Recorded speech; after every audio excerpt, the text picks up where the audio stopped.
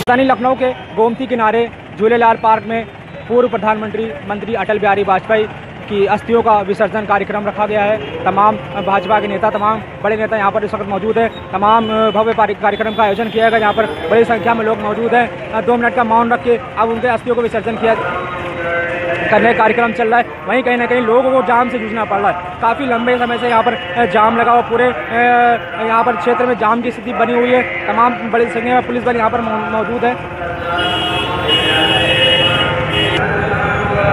काफ़ी काफ़ी संख्या में यहाँ पर लोग मौजूद है, जिससे जो है गाड़ियों का आवागमन रुक गया है। काफ़ी जो है समस्याओं का सामना करना पड़ा है। काफ़ी जो है जाम लग चुका है। कैमरामैन शाहिद के साथ जाहिद अली की रिपोर्ट रसमान न्यूज़ लखनऊ।